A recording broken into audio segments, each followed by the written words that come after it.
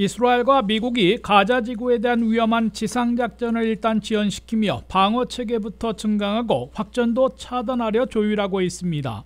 이스라엘은 가자 지구를 침공해 지상 작전을 강행할 경우 시가전이 불가피해져 막대한 인명피해를 내고 확전될 우려가 높아진다며 연기해달라는 미국의 요청을 수용했다고 월스트리트저널이 보도했습니다. 미국은 로이드 오스틴 국방장관이 이스라엘 국방장관과 자주 통화하고 미 해병 제임스 클린 총장이 이끄는 군사자문단을 이스라엘에 급파해 가자 침공 시가전 대신에 족집계 공습과 특수부대 기습작전으로 하마스 분쇄작전을 펴도록 권고한 것으로 미 언론들은 전한 바 있습니다. 이스라엘이 가자 지구에 대한 지상작전 연기에 동의함에 따라 미국은 드론과 로켓포 등으로 자주 공격받고 있는 중동적 미군들을 보호하는 조치를 한층 강화하고 이스라엘과 미군들의 미사일 방어망도 대폭 증강하는 작전에 돌입했습니다. 미국은 이스라엘의 아이언돔에서 발사할 수 있는 요격 미사일들을 대량 제공하고 아이언돔 시스템의 증강도 지원키로 했습니다.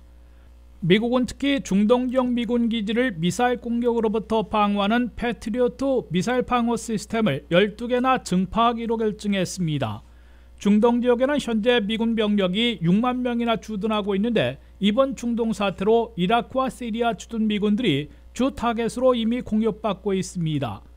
이라크에 2,500명, 시리아에 900명이 주둔하고 있는 미군들을 향해 지난 한 주 13번의 드론과 로켓 포 공격이 가해져 24명이 경상을 입었다고 펜타곤이 밝혔습니다.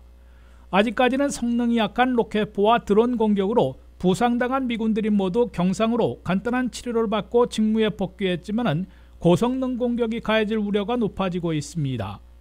실제로 이란의 후원을 받고 있는 예멘의 후티 반군이 사거리 1200마일이나 되는 장거리 크루즈 미사일을 이스라엘을 향해 지난주 발사했으며 홍해에 있는 미 해군 구축함에서 요격 미사일로 격추시킨 것으로 펜타곤은 밝혔습니다.